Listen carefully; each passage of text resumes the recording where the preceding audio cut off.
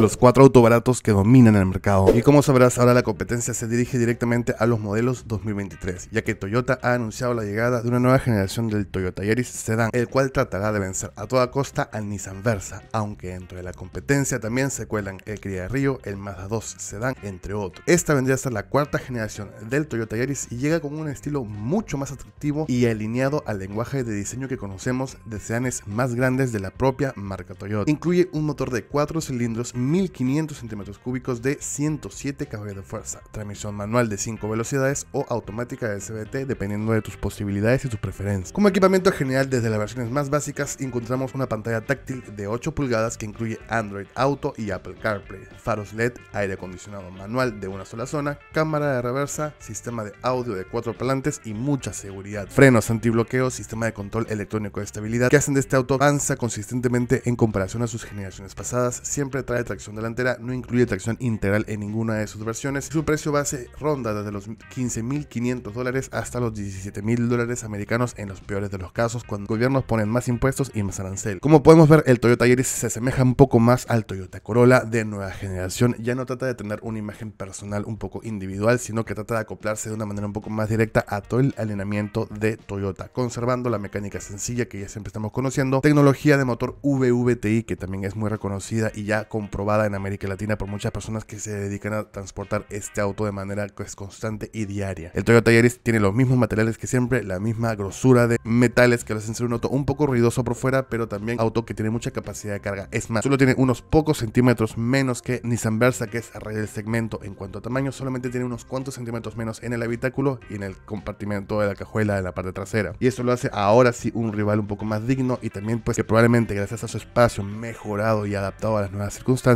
podría serle un gran rival al rey de este segmento y al rey de ventas que es el Nissan Versa. Otro auto que también se mete a la colada, a la jugada de la competencia del año 2023 es el Kia Rio. Kia Rio por su parte trae un motor 1600 centímetros cúbicos, 4 cilindros, 120 caballos de fuerza, transmisión de 5 velocidades o automática variable inteligente, no CVT. Tiene aire acondicionado también manual, pantalla táctil de 8 pulgadas con Android Auto y Apple Car. Al parecer este segmento va a resaltar siempre por tener pantallas grandes y trae incluido en todas sus versiones Android Auto y Apple CarPlay. 6 bolsas de aire en sus versiones intermedias, 2 bolsas de aire en sus versiones más básicas que aún así tienen 4 y 5 estrellas de seguridad respectivamente. Control electrónico de estabilidad, también frenos antibloqueo y es que este automóvil del segmento B ya va por su cuarta generación, así que ya saben muy bien lo que van a hacer y cómo desarrollarse. Lo que lo hace aún más similar al Toyota Yaris es que ambos tienen pues cuatro generaciones junto a nosotros y año tras año los hemos ido viendo desarrollarse, mejorando e implementando nuevas tecnologías. Su precio va a oscilar entre los 15.900 dólares en los mejores de los casos hasta 17.000 dólares en los peores de los casos en los países más costosos, por lo menos en sus versiones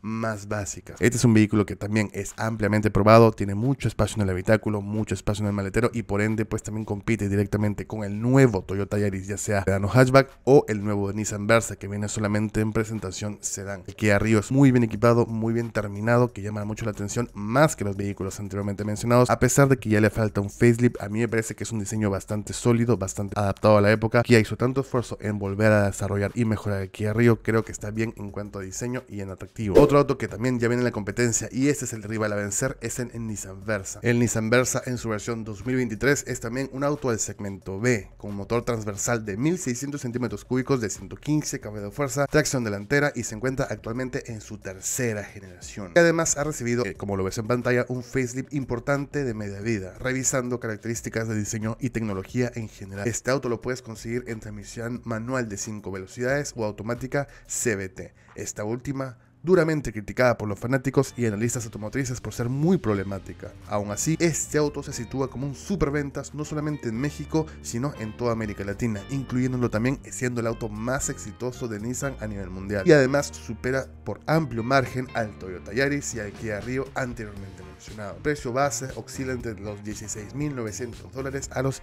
18.000 dólares americanos y es que ha recibido una nueva actualización que mucha gente no entiende, que mucha gente pues no está viendo. Este auto tiene una inyección más grande y más importante de tecnología, equipamiento, seguridad y diseño. Y todas esas cosas cuestan. Además, pues todo el tema de arraigado, de crisis mundial, pandemias, crisis, guerras, ante todo, todo se vuelve un poquito más complicado. Además, también hay que considerar el tema de los chips. Al no haber chips en el mundo, la gente no puede producir más vehículos y la gente que quiere comprarlos, pues no los tiene y paga más. Eso es más o menos cómo funciona la oferta y la demanda cuando un elemento tan importante como los chips están faltando, especialmente crucial para la fabricación de un producto, en este caso los vehículos. Nissan Versa tiene una muy buena claridad con respecto al suelo, que lo hace ser un auto favorito entre las personas que están buscando algo que no golpee el suelo, que no se malore, que no raspe y que parezca una pequeña camionetita citadina, pues por lo general el Nissan Versa es la opción a seguir y es uno de los autos pues más simples, a pesar de sus nuevos rediseños, a pesar del facelift, a pesar de que le agreguen tecnología y muchas más cosas. La gente que se compra el Nissan Versa de antigua generación y de nueva generación saben perfectamente lo confiable que es, lo barato que es también de mantener y la gran cantidad de repuestos que encontramos allá afuera. Y es por esto que gracias a su precio, que no es barato, pero tampoco es muy costoso, y a los nuevos rediseños que vienen insistiendo los desarrolladores de Nissan, considero que Nissan Versa en números gana. Y por supuesto se le viene una dura competencia para el año 2023. Y el último auto que viene a competir en este segmento de autos baratos extremadamente populares es el Mazda 2, tanto el sedán como el hatchback. Este también es un auto del segmento B producido desde el año 1996 con motor delantero transversal junto con tracción delantera. Se fabrica tanto en Japón, México y Tailandia. Incluye también dos motorizaciones principales que se comercializan alrededor del mundo. Un 1300 centímetros cúbicos sin turbocargador y un 1500 centímetros cúbicos también sin turbocargador. Ambos de 4 cilindros en línea y ambos también con tecnología Skyactiv. Todo el alineamiento de Mazda utiliza por generaciones la tecnología Skyactiv que va avanzando y se va desarrollando para hacer autos tanto más deportivos como también que se sientan más suaves al manejar y sean más ecológicos y amigables. Mazda tiene una estrecha asociación con Toyota, lo que lo ha llevado no solamente a compartir tecnología y amplios conocimientos, sino que además en muchos casos los Yaris de ciertos mercados son en verdad un Mazda 2 con logotipos cambiados y puestos los de Toyota adelante y atrás y también el de Yaris. Esto hace que la gente se confunda y que también terminen criticando a Mazda y a Toyota por estos juntes que hacen, pero es más o menos como así decirlo, tema de marketing y un tema de expansión de mercado más que por el tema de competir o tratar de engañar a las personas. Este auto compite directamente en todos los mercados donde se vende con el Toyota Yaris, tanto sedán como hatchback, el Kia Rio tanto sedán como hatchback y el Nissan Versa en su única presentación de sedán. Pero en las personas compran menos un Mazda 2 y en general toda la marca menos, ya que tienen la percepción, la gente asocia Mazda con autos mucho más costosos y que por ende son más complejos, más delicados y más difíciles y caros de mantener. Y es por esto que el Mazda 2 yo considero que no tiene en ninguna de sus versiones, tanto sedán como hatchback,